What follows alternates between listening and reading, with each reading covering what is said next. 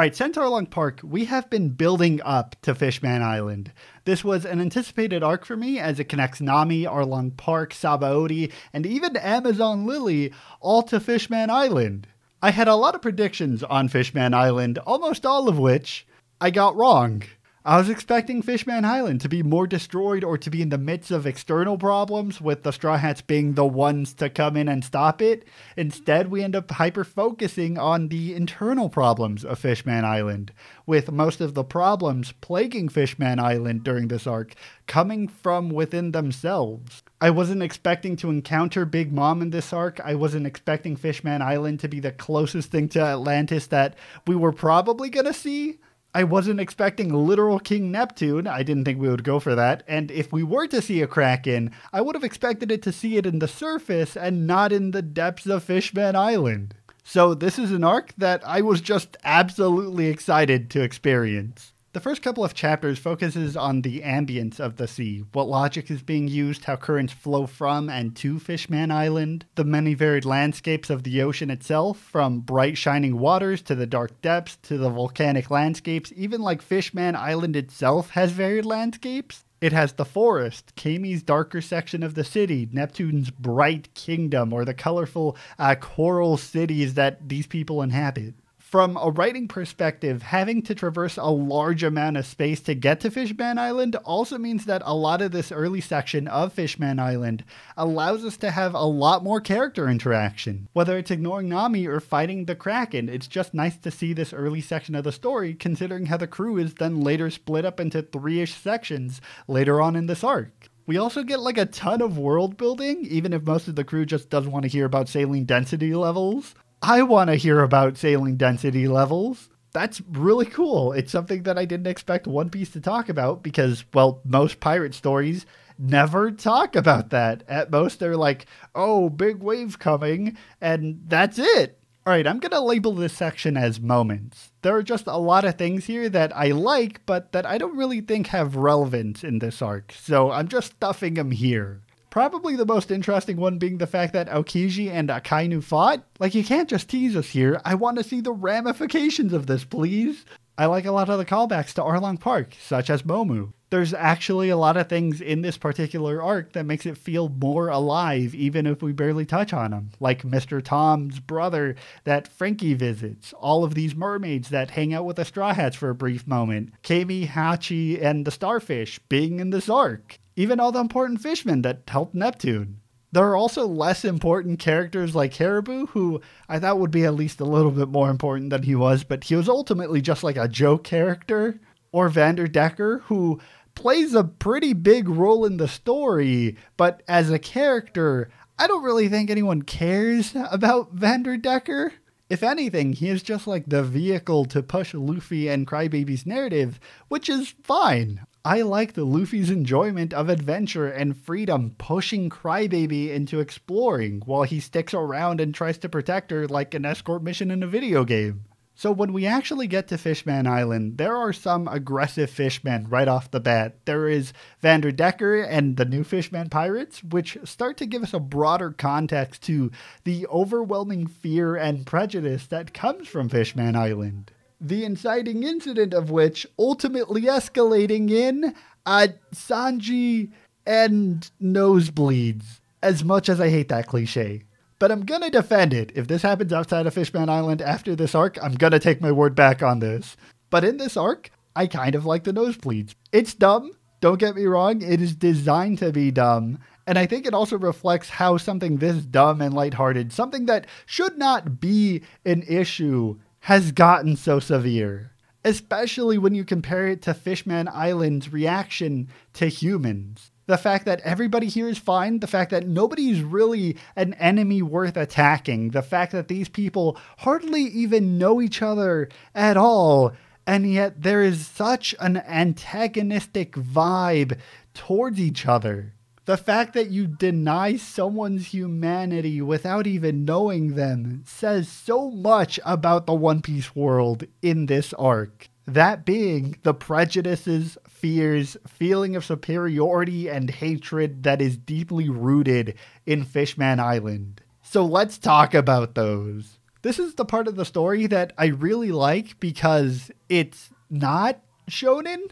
A lot of the story of One Piece has been focused around fighting, sure, but one of the things that really interests me is what the Straw Hats don't solve. After every battle, after every place the Straw Hats leave, there is this more complex societal issue that needs to be fixed. And one of the interesting things about One Piece is observing the broader story outside of the Straw Hats' adventure and how the Straw Hats enter it for a brief period of time and are quite literally the last straw that will break all of this down.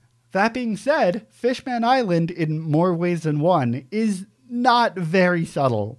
While we have seen characters have certain philosophies like Nami, Aokiji, or Koby, all of which are solid, absolutely fascinating and complex philosophies in their own rights. In Fishman Island, on the other hand, we have Otohime, Tiger, and Hody, which are more caricatures at times, feeling more like a representation of a particular ideology and leaning so far into that aspect rather than being an individual character. That being said, when it's done right, it's interesting to see how these characters deal with the effects of slavery and oppression. I should probably start with Fisher Tiger since we knew about him back from Amazon Lily, with Fisher Tiger being the person who saved Boa along with countless other people, despite what he felt deep down about most of them. I think that's kind of the saddest part, especially if we look back on Boa's deep appreciation for Tiger, as well as Koala's gratitude when coming back to her village. This contrast in emotions between hating humanity and simultaneously empathizing too much to act against them, even keeping most of his emotions bottled within it, adds so much depth to his character. Tiger also pushed for like a more active approach, saving fishmen while also trying to be as non-hostile as a liberation approach can achieve. I also love the approach in showcasing that even if this is technically one faction, at least at the time, it had multiple ideologies, all of which wanted to approach this very differently, with this ideology spreading and getting distorted to many other fishmen. The saddest part about Tiger is the irony and tragedy of his death, with it later being a setup for the beautifully paid off section of Luffy and Jinbei. On the other hand, we have Otohime, who, unlike Tiger, took an extremely passive approach, going for a long term impact. That meant getting votes, changing the system, striving for peace in a non aggressive fashion, even going so far as to choose to preserve the life of a celestial dragon who, well, I'm surprised she even did that, honestly. In fact, most evidently, we see many characters, if not question her judgment, then at least worry profoundly upon her judgment, with the most risky play being that of the Revi. Revi? Revi, Reverie. Reverie? Reverie. A state of being pleasantly lost in one's thoughts, a daydream. A fanciful or impractical idea or theory. Oh, that's that's sad. That's kind of that's kind of resonant to the story. Okay. Okay, wow. Okay. So either one, the reverie is Otohime's dream being brought into reality. We've had a lot of themes of dreams being passed on to others. We see everyone near the end of Fishman Island hoping to make her dream become a reality. And, you know, that's the good ending. Or two, these dreams are to get crushed and nothing will be fixed or made worse. It's a daydream, it's an illusion, it's something that's not to happen. Uh, this makes more sense to me from a storytelling perspective because, well, in a story, you can't have things ever go right. But also because I don't believe that the world government would do that. We saw Sabaody. We've seen the world government. I, I kind of doubt it. So the other way we could take this is her dreams getting crushed by reality and it is not going to turn out well, which is the bad ending, but I think historically the more realistic one. And lastly, we have Arlong, who I think his story is beautifully tied into Fishman Island we see how over the course of being in the Fishman Pirates, he becomes more aggressive with him seemingly ignoring a huge part of Tiger's uh, long term plan. I love Arlong's role here. It adds complexity even within the Fishman Pirates as a faction, which I think makes it better when they get split up, as both the symbol and the faction itself now represent varied ideas. I think Arlong also plays a pretty huge role here, having a very different ideology from everyone else, showcasing not just hatred, but resentment towards humanity through his version of Sabaody Park. Being a place where we've seen Camie before, equally looking at it in amazement and despair it adds just like a few more layers of complexity outside of just grr i hate human which hody jones uh, is just that. I mean like he just hates humans.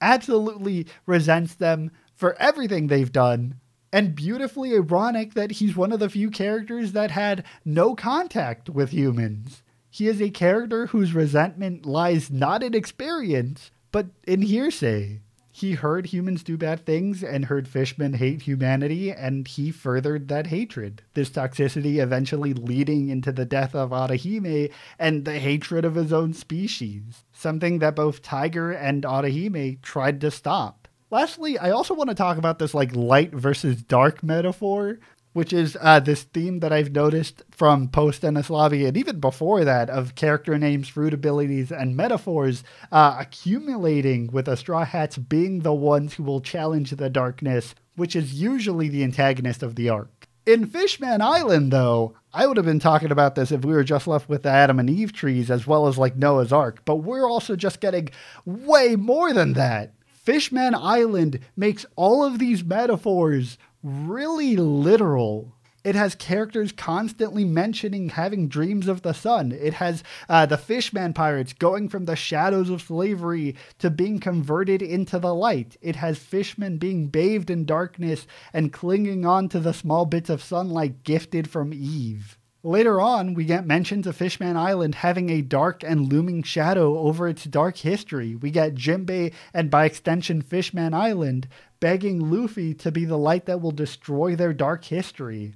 And right after that's mentioned, we get the thousand sunny that like comes shining down upon Fishman Island. Right? I could go on about this for hours. I am drowning in the amount of times this is mentioned. So clearly, this is like a major theme of the story. And what I'm interested in is the fact that Luffy rejects this narrative. While near the end he does end up being a hero regardless of his opinion, Luffy himself just fundamentally disagrees with the idea of being a hero. So, on the one hand, you have the light versus dark metaphor, and on the other, Luffy is straight up rejecting being the light. Now, I don't think Luffy is just going to become a bad guy by rejecting the light. That feels very uh, in a way at most, I like the idea of him being kind of like Roger or Whitebeard, a person who the greater world might have disliked, but those around him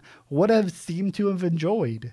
Being a hero just isn't a worldview that he wants projected onto him. Luffy and later Zoro's ideals were that heroes have to share and pirates don't. In other words, Luffy wants to be free, and heroism comes with restriction. This is also a good time to talk about Haki abilities. I was holding back on talking about Haki because I wasn't really sure how well it was going to be used, but I ended up liking Haki a lot. My biggest fear was that Conqueror's Haki specifically was mostly a way to deal with low level grunts. It's a way of saying, we got a huge army, but in actuality, uh, who cares? And uh, that is what ended up happening. Luffy's Conqueror's Haki was used to take out like half of the army.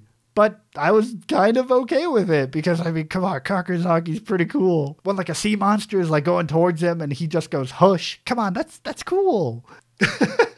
I mean, especially because it's not a spammed ability. I actually like it more uh, when it was used in an earlier section of the story when Luffy was tied up and was being stopped by the fishmen, and despite feeling bad for doing it, he had to use Conqueror's Haki to put everyone trying to stop him down because he needed to go save Crybaby. I like that. It shows a lot of restraint from Luffy because Luffy is choosing not to impede his will onto others. We also get Armament Haki, which is interesting. It has a black coating around it, and I mean, like, yeah, that's pretty neat, I guess. Maybe it adds a little bit more protection from the sea. It doesn't seem to do much, but just like maybe hit harder. But I really like the predicting one. I forgot the name of it. Throughout the arc, we see Luffy reacting before like any other character uh, through a slight like shing effect, which I think is the Haki that's being shown. Like once or twice, it's used like in a different context, but usually it's a quick reaction that other characters are too late to process. So I think that's the ability, and if it is, I like it. It's subtle, but it's effective. There's also a lot of abilities that I don't have much to say about besides uh, these are cool. Here is a quick list of things that I thought were cool. Sanji can run on water. Sanji broke gravity. Robin makes giant limbs. She can crush people by stomping on them with her feet. Franky Robot is pretty cool. Chopper has this form. I think he looks pretty good in like most of his new outfits. Monster Point is used in like two panels and not really shown in the manga, and I'm sad, and it doesn't really look as cool. I like that the crew takes over a Kraken and that it has a use later on in the story and also is given a small character arc. Alright, now let's talk about Jinbei. I didn't really mention Jinbei alongside Otohime and Tiger, but Jinbei equally plays a huge role in Fishman Island. He not only plays the long con, being cautious while both joining the world government and while going after Hody, Contrast that to Luffy, who just doesn't care. If Luffy sees a problem, he's gonna go and fix it. Jinbei is also a part of Nami's story, and Fishman Island managed to give us a bigger glimpse into that. We see both his and Hatchan's hesitation, their guilt and all. And it wasn't until Fishman Island where I kind of understood Nami even more. It's kind of been poking at me how she calmed down really quickly with Hatchan in Sabaody, but with Fishman Island, it connects. Yes, they both messed up, and Nami could have chosen to not let them ever forget that. But here, she doesn't do that. Like Otohime and Tiger, she ends the cycle. After the entire fight, we again have blood being a major theme in this arc. Here's where we also see Chopper's importance as a doctor, being one of the only people who can do a transfusion. And I think this is where this scene beautifully ties in with Fisher Tiger. And so it's beautiful to see the next generation, that being Jinbei, stepping in to do what Tiger uh, ultimately couldn't, closing the cycle by doing something that was prohibited, choosing to share the same blood. I love how this also parallels great with Otohime's line of not telling the next generation how to feel, but instead showing them and letting them decide. And that's what this arc accomplishes. Afterwards, we immediately see Luffy ask Jinbei to be a part of the crew, and we get Jinbei as a part of the crew. Kind of. He is again thinking about the long termness of it all, like what he went with the world government or going after Hody, just like he was allied with Big Mom. He is really trying to plan out the long term stuff here. So, in the end, it's kind of like a Vivi situation. He is a straw hat in our hearts. All right, let's talk about Big Mom. Following Marineford, I was expecting major consequences for Fishman Island, though it ended up being kind of safer than I thought. And that was in part because, well, Big Mom was there, protecting Fishman Island more so in a transactional sense, unlike Whitebeard. We got two lines about her before the time skip, so I wasn't expecting to, like, see her at all in this arc the island she is on is in fact a candied island. Kind of. It's it's a lot grosser actually. Uh, walking on frosting. I love the reveal of Big Mom. She's just like this imposing force, bigger than life over these characters. And unlike Whitebeard, that size is used in a threatening manner rather than a heroic one. That being said, I did not expect Luffy to challenge Big Mom in this arc. Like, I know you had a trading arc and all, but really? You're challenging Big Mom now? I do have one question though. Um, why is it all cake? Previously, we saw that it was raining candy back in Sabaody, and at the time, I thought that at most it was a devil fruit ability. But considering how Fishman Island is used purely for candy production, I think Big Mom is just that into candy. So maybe that candy rain is from a ship or a cloud that is actually transporting candy to equally pay their candy taxes to Big Mom. And lastly, I think this arc has some really interesting long term ramifications. What I'm talking about is Madame Shyarly's prediction of the destruction of Fishman Island.